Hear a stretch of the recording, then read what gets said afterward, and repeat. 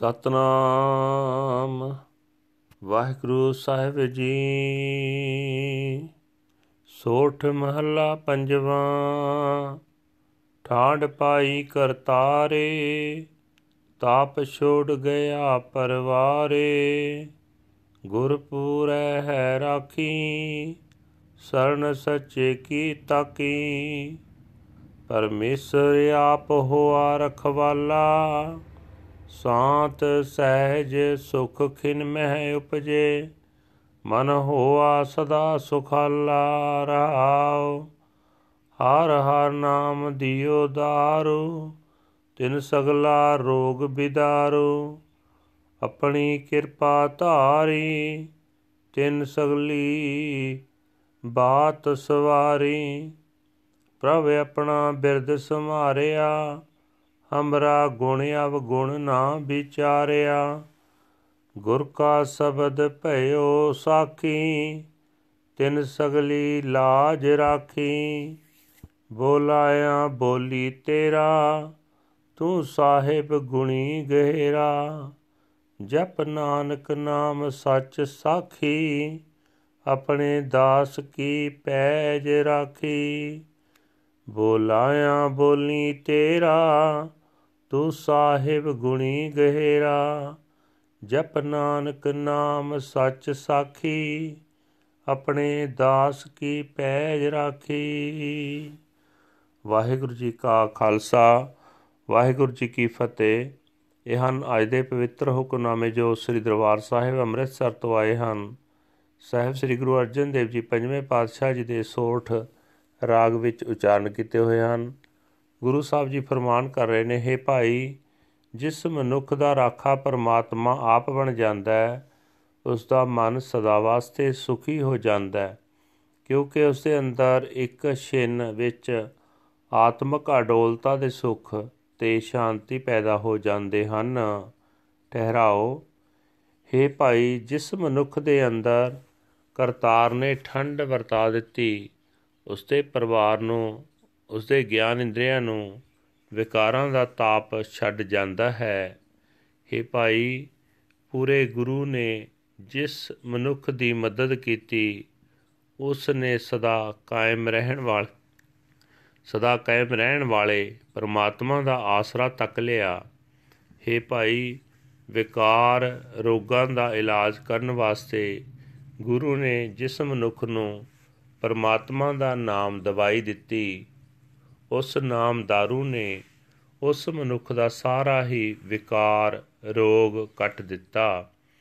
ਜਦੋਂ ਪ੍ਰਮਾਤਮਾ ਨੇ ਉਸ ਮਨੁੱਖ ਉੱਤੇ ਆਪਣੀ ਮਿਹਰ ਕੀਤੀ, ਤਾਂ ਉਸਨੇ ਆਪਣੀ ਸਾਰੀ ਜੀਵਨ ਕਹਾਣੀ ਹੀ ਸੋਹਣੀ ਬਣਾ ਲਈ।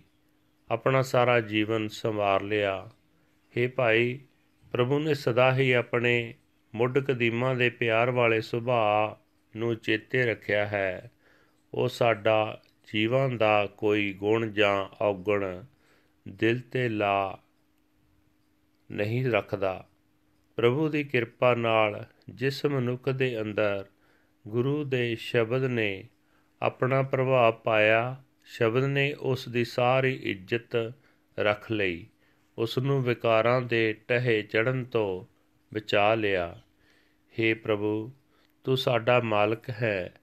ਤੂੰ ਗੁਣਾ ਦਾ ਖਜ਼ਾਨਾ ਹੈ, ਤੂੰ ਡੂੰਘੇ ਜਿਗਰੇ ਵਾਲਾ ਹੈ। ਜਦੋਂ ਤੂੰ ਪ੍ਰੇਰਣਾ ਕਰਦਾ ਦਿੰਦਾ ਹੈ, ਤਦੋਂ ਹੀ ਮੈਂ ਤੇਰੀ ਸਿਫਤ ਸਲਾਹ ਕਰ ਸਕਦਾ ਹਾਂ। हे ਨਾਨਕ, ਸਦਾ ਥਿਰ ਪ੍ਰਭੂ ਦਾ ਨਾਮ ਜਪਿਆ ਕਰ। ਇਹੀ ਸਦਾ ਹਾਮੀ ਭਰਨ ਵਾਲਾ ਹੈ। ਪ੍ਰਭੂ ਆਪਣੇ ਸੇਵਕ ਦੀ ਸਦਾ ਇੱਜ਼ਤ ਰੱਖਦਾ ਆਇਆ ਹੈ।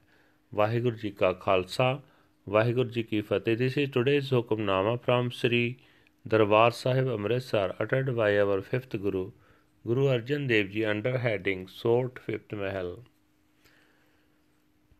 Guru Sahib ji says that the Creator has brought utter peace to my home.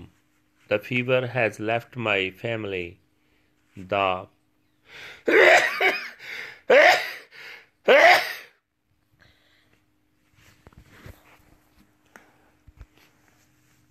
The family, the perfect Guru has saved us. I sought the sanctuary of the true good Lord.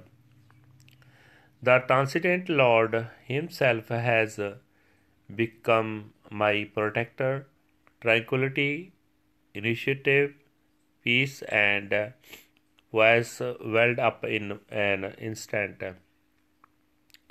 And my mind was comforted forever.